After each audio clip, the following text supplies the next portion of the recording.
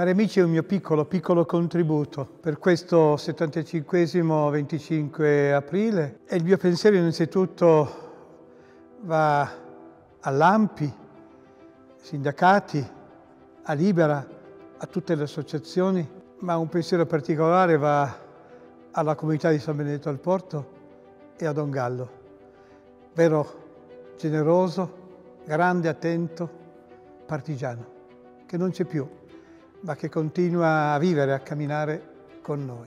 Mi unisco in questa giornata a voi con forza, memoria che dobbiamo più che mai trasformare in impegno, in una memoria viva e molto molto operativa, anche perché non dobbiamo dimenticarci che la libertà che ci ha consegnato la Resistenza, la libertà della Costituzione, della democrazia, è infatti non dimentichiamolo mai innanzitutto, una grande responsabilità.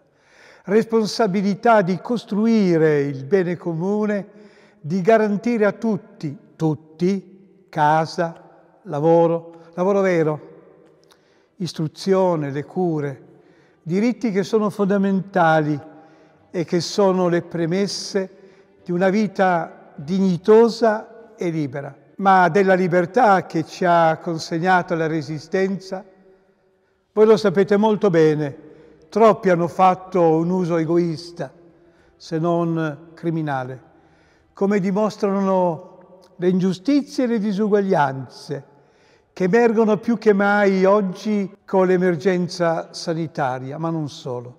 Il 25 aprile deve allora rappresentare una grande svolta una presa di coscienza ancora di più, una memoria che si fa motore di speranza e di cambiamento. Per dire basta all'ingiustizia, alle guerre, alla devastazione ambientale, per dire sì all'appello di un cambiamento vero, non un semplice adattamento.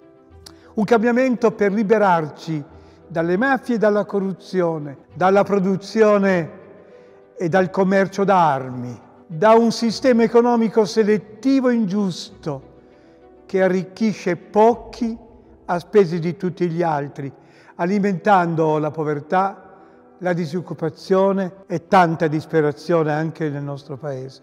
Pensiamo a tanti giovani in cerca di lavoro, agli anziani soli e abbandonati, al vergognoso olocausto dei migranti, vittime dell'egoismo e, lasciatemelo dire, anche di tanta indifferenza di parte della politica.